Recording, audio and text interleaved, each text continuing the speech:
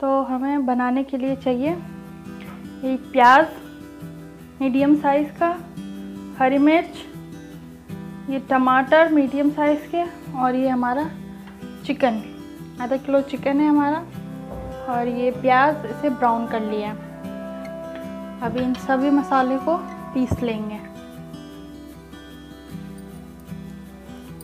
प्याज डाल दिया इसके अंदर। टमाटर डाल दिया। और ये हरी मिर्च डाल दी ये सभी इसको पीस लेंगे। चलिए इसे आप देख सकते हैं, ये हमारा प्याज, टमाटर और हरी मिर्च पीस लिए हैं। और ये ब्राउन किया हुआ प्याज है, उसे भी हमने पीस लिया है। अब इसमें डालेंगे मसाले।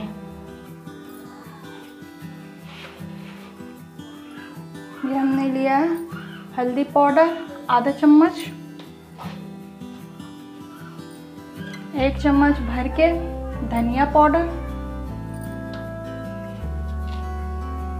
स्वाद अनुसार नमक।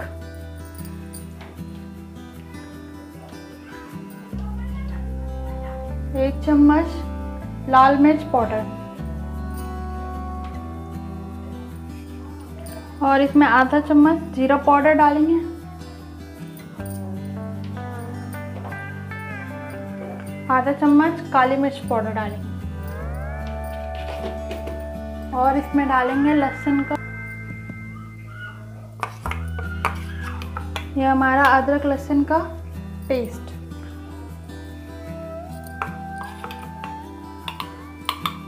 दो चम्मच। अब इसे पका लेंगे। तेल हमारा गरम हो चुका है। उसमें डालेंगे एक हरी इलायची एक बड़ी इलायची, चार पाँच लौंग और एक इंच टुकड़ा दालचीनी और ये थोड़ा सा ज़ीरा। अब इसे हम सब इसमें डाल देंगे।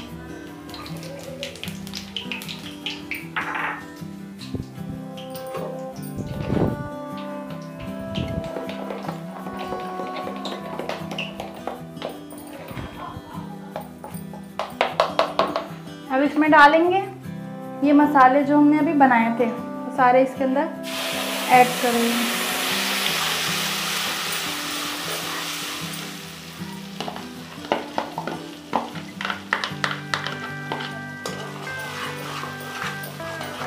और इसे पकाएँगे अच्छी तरीके से। हाई फ्लेम पे पका लेंगे। मैं इसे ढककर पकाऊँगी पाँच मिनट तक।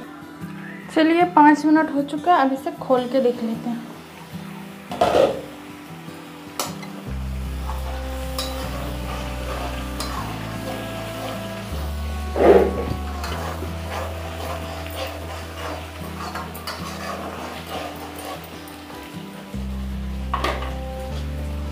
अभी इसे और पकाएँगे फिर ढक के पकाएँगे। मसाला को भूनेंगे। ये हमने चिकन लिया है, इसे मैंने अच्छी तरीके से वॉश कर लिया है। अब इसको मसाले में मिक्स करेंगे। ये हमारा मसाला हो चुका है। अभी मसाला को और पकाएँगे चिकन के साथ। अभी हम चिकन को इसके अंदर डाल देते हैं।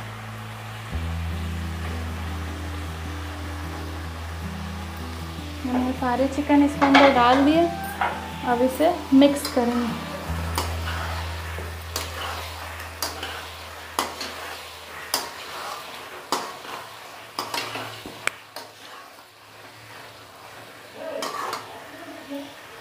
अब इसमें हम डालेंगे ये हमारा पिसा हुआ प्याज है, जो हमने ब्राउन करके पीस लिया था, वो भी इसके अंदर ऐड कर देंगे। मिक्स करेंगे।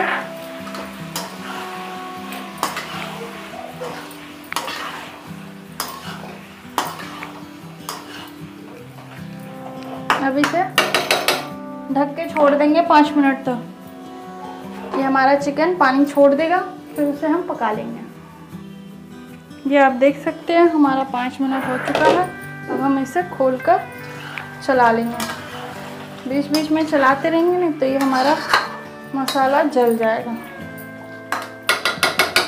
अभी इसे और पकाएँगे, फिर ढक कर रख देते हैं। जब तक हमारा चिकन गल नहीं जाता, तब तक इसे पकाएँगे। तो चलिए इसे खोल के देखते हैं। हमारा पाँच मिनट हो चुका है। ये देखिए, कितनी अच्छी तरीके से पका है। चला लेंगे और इसे हाई फ्लेम पे भून लेंगे। ये हमारा चिकन भी गल चुका है, अच्छी तरीके से गल चुका है। अब इसे हम हाई फ्लेम पे अच्छी तरीके से भून लेंगे कि हमारा मसाले में कच्चे स्मेल ना आए। आप देख सकते हैं इस तरीके से।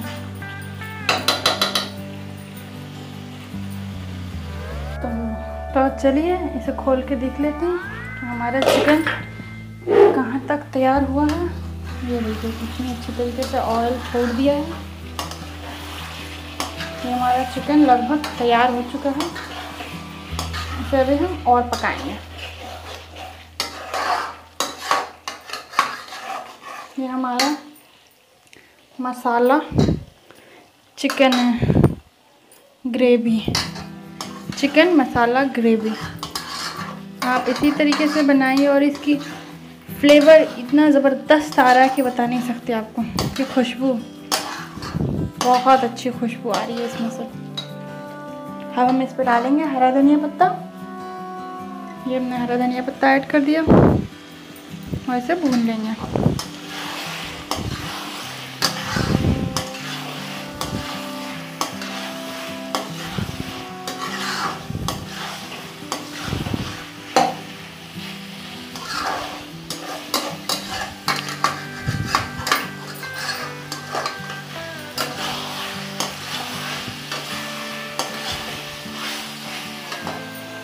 चलिए अब इसे थोड़ी देर और पकाते हैं। अब ये बिल्कुल भुन चुका है। आप देख सकते हैं, कितनी अच्छी तरीके से हमने भुना है। इसमें बिल्कुल भी पानी नहीं है। अब हम इसमें थोड़ा सा करेंगे पानी ऐड। हमने इसमें पानी ऐड कर दिया। आप अपने हिसाब से कम या ज़्यादा कर सकते हैं। ये भी मुझे थोड़ा ज़्यादा गाढ़ा लग रहा है, इसलिए मैं इसमें अभी थोड़ा सा पानी और ऐड करूँगी। आप देख सकते हैं, इसमें पानी में थोड़ा सा और ऐड कर रही हूँ। और ये आप चावलों के साथ खाएँ, रोटियों के साथ खाएँ, बहुत ही मज़ेदार। और इसकी खुशबू बहुत ही ज़बरदस्त आ रही है। अब ये हमारा बिल्कुल तैयार हो चुका है पानी डाल के। अब हम इसे पाँच मिनट हाई फ्लेम पे और पका लेंगे। ढककर पकाएँगे ताकि हमारा ये ऑयल छोड़ दे। ये आप देख सकते हैं कि हमारा बॉईल हो रहा है चिकन अब इसमें डालेंगे थोड़ा सा होममेड गरम मसाला. ये हमने गरम मसाला घर में ही बनाया है. अब इसे करेंगे मिक्स